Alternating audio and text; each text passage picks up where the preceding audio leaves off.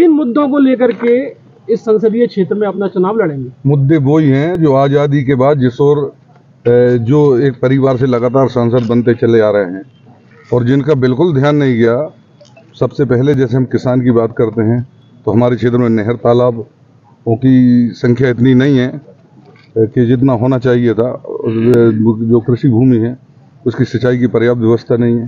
क्षेत्र में कोई ऐसे उद्योग धंधे नहीं है जिससे हमारे युवाओं को, बेरोजगारों को रोज़गार मिल सके। कोई ऐसे बड़े शिक्षण संस्थान नहीं जिससे हमारे भाई बहनों को छात्र छात्राओं को पढ़ाई का अवसर मिल सके। तो मुद्दे तो विभिन्न हैं, ये प्रमुख हैं।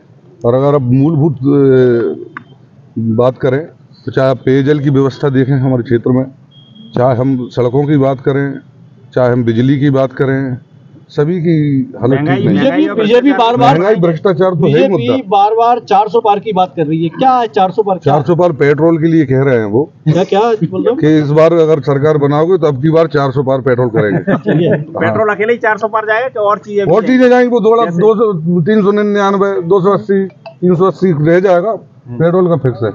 पेट्रोल चार सौ पर हो जाएगा। हम्म, यहाँ से सांसद रहे हैं पूर्व में भी और बीच में वो हार गए थे। लेकिन वो कई बार ज़िक्र करते हैं कि उनके क्षेत्र से पारिवारिक संबंध है राजनीतिक संबंध नहीं है इस तरह की दुहाई देते हैं बिल्कुल अगर पारिवारिक संबंध होते तो के पी यादव जी जो सांसद थे वो परिवार के ही सदस्य थे।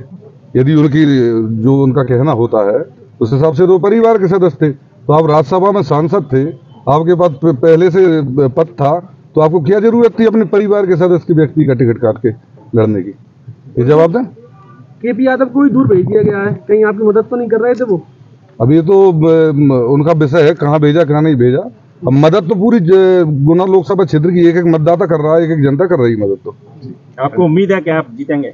एक हज़ार परसेंट जीतेंगे और बहुत वोटों से जीतेंगे। कई लोग कहते हैं कि वो छह लाख वोटों से जीतने का आंकड़ा लेके बैठे हैं सिंधिया जी।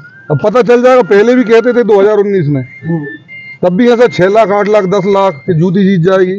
देखा तो है आपने। थैंक यू बहुत बढ़िया।